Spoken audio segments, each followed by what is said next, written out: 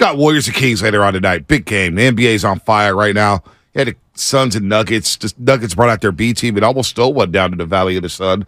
Uh, Pelican or Thunder. Thunder. Keep getting them mixed up. Thunder. They beat the Salt Lake City. Uh, they beat the Utah Jazz in Salt Lake City. They're still alive in the play tournament. They play Memphis Sunday. Got a lot of tiebreaker teams to go through when it comes to the Warriors, Clippers, Lakers, Pelicans. A lot can happen over the next three days in the NBA. But right now, let's stick with the Giants for a second, and we'll get back to it. We'll get back right back into the Warriors at the top of the hour. But I want to know for people and understand what the home opener means for you. You'll see all the bunting. You see fans out there. It'd be packed the lines would be long for crab fries and crab sandwiches. What does the home opener mean to you, Joe Shasky? It means an opportunity for uh, you know spring renewals, if you will. You know, like it, there's this re- revigorated feeling of optimism for the team. Uh, it feels like we're, we're, coming out of winter, which is like a big one for me. The sun's out. And then for the Giants, it goes back to, and I was telling this to Spadoni this morning, it reminds me of my dad taking me to games early in the uh, in my life. You know, my dad used to take me to a home opener, and it was a, a familial event. And I've carried that tradition on with my wife, and she obviously went for many years before we even uh, started dating. And so right. it's once Oracle was built, I feel like it became more of an event. Right. Much more of an event. And mm-hmm. I think, you know, you and I are about the same age. And so you know, the first 10 years or so of Oracle Park is expensive. Oh, it's tough to get down there. Very difficult to get tickets. This was the era of actual ticket scalpers. When you were younger, did you just go down there just to be around the yard? Oh, yeah, we did all the. I, I, yeah, I would just go there just to be around well, the festivities. Well, what we used to do was you'd have the cash in your pocket, right? And then you'd go to Momo's and, or whatever, and you'd wait till the third or fourth inning, and then you'd walk across, and all those tickets that were going for a 100, you know, right. 80 bucks were going for like 10 bucks. Right. Because it's the third or fourth inning. So you yep. get it from a scalper. And then you had to be careful right. not to get arrested because all the scalpers. No doubt. No doubt. So you'd be around there,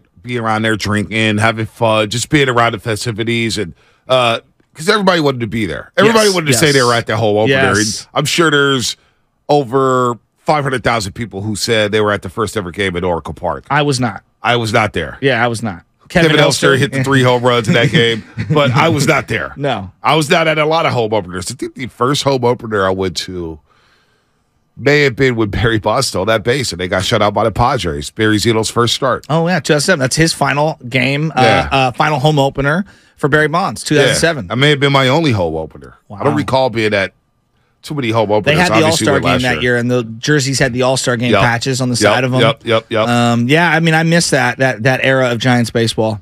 Nah, five hundred. Oh boy, I'm, we should have talked about the wives because now you see the YouTube chat. It's just out of control, out of control. Lay off our wives. Lay off. Lay off. They're good people. Wouldn't be with them if they weren't good people. Lay off. I have a wife. Lay off. Um, but no, home opener, man, it's going to be a lot of fun. I mean, I, I I'm ready to see what they have, what they have planned in terms of the gimmicks. Like you know, you get Bob Bumgarner on the horse after a World Series. How about you know, when Brian Wilson sprinted out to center field, right, in the Rays yeah. to win World Series flag? That was pretty cool. Um, Lincecum, Lincecum. Last year, even with Brett Belt in the boat, it was wild. Is, but you know, it is what it is. Well, this is what I'd like to see today. Uh, I would like to see Buster Posey there today. I would like to see Barry Bonds there today. I'd like to see Will Clark there today.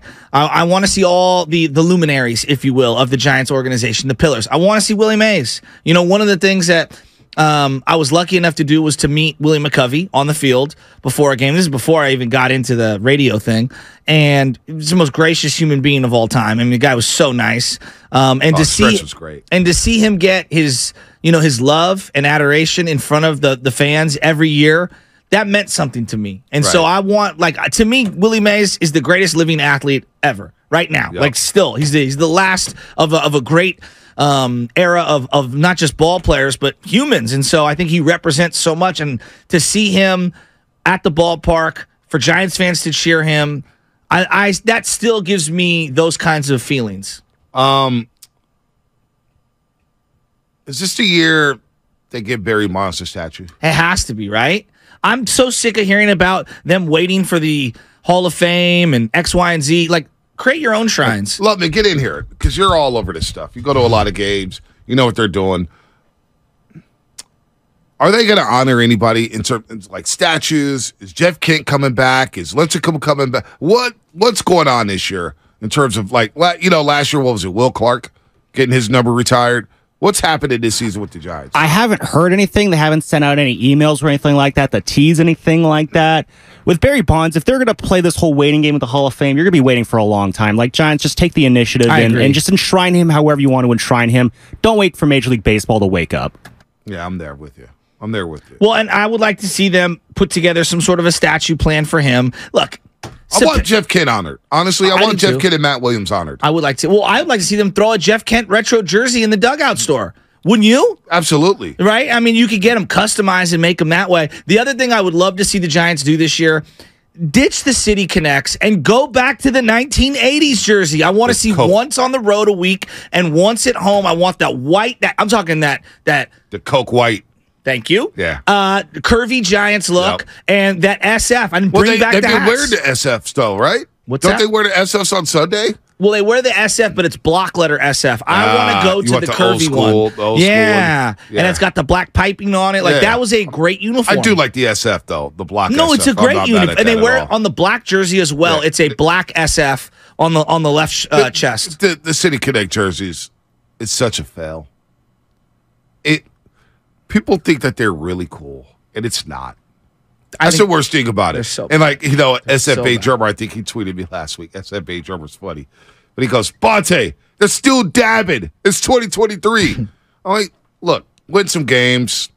I'm not gonna, I'm not gonna mind that. But if you start losing and you're still dabbing, what just shows how out of touch some baseball teams are to embrace today's culture. Well, and I'm looking at it right now. Like Toronto Blue Jays have embraced their uniform history and it's glorious. Oh my gosh! The Kansas City Royals have embraced their their uniform history. Now they've made very little changes over the years, yep. but going back to those baby blues, game changer, game changer, right? Uh, the Phillies, Phillies, Cardinals, Cardinals, all these teams.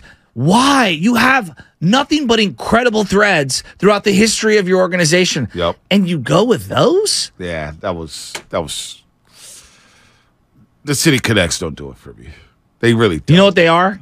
What? The transplant ones. I mean, uh, yeah, I'm not. Yeah, they're still hitting the dab. Yeah, SFB German hit me up last week. Like, look, Labonte, they're still hitting the so, dab in 2023. And I'm just like, how out of touch are we? Now, when I look at the regular team, and, I, and I'm getting encouraged here, I thought their approach yesterday at the plate, you're going to look at the home runs, but they went the other way a couple of times. My biggest surprise, and it's early, I'm not losing my mind – my biggest surprise is Yastrzemski looks really good right now.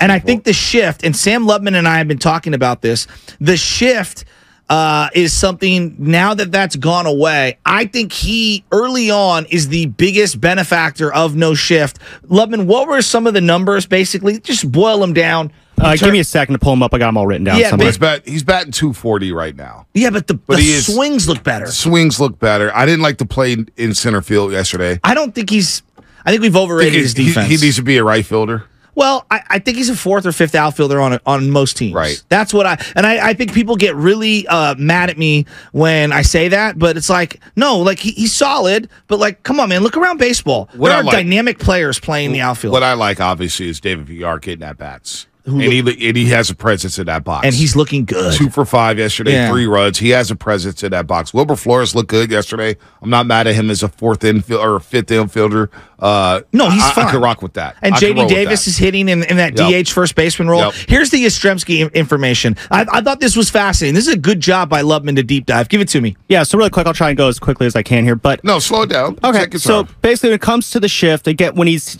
when Mike Yastrzemski's not hitting against the shift, he's a 300, he's a 307 hitter. When there is shifting, he's a little bit worse at 291. But here's the thing it's how much other teams shifted against him. So recall back in 2019 2020 when Yaz was one of the more exciting guys in this lineup, uh, teams shifted on him about half of his at bats. But then 21 and 22, he kind of became more of like a power guy with less contact hitting. They were shifting on 80% of his at bats. And you look at his spray chart, a lot of his hits go right to where the second baseman it, is standing indeed, in these shifts. Yeah. And if this whole concept, you know, you want to hit them where they ain't, This year, the second the second baseman can't stand where he's usually hitting the ball. So unless they try to do like some weird like let's shift the left fielder over to stand there, it sets up. I'm not saying this is going to happen, but it sets up a situation where Yastrzemski he could have a bit of a bounce back in terms of just kind of seeing his batting average go up because the way he's hitting the ball, the launch angle, the contact, the K rate, the walk rate, all that stuff, it's all stayed the same over the last few years. The only thing that's really changed is how people play defense against him, and they can't play defense against him that same way this year now. Oh, so maybe a big Yaz year is on the horizon. Hmm, maybe, maybe, maybe. Uh, shout out to YouTube uh, Twitch, and the Comcast Business Text Line. The segment was sponsored by Golden State, serving the Bay Area for three generations. When you succeed, we succeed. Visit GoldenStateLumber.com.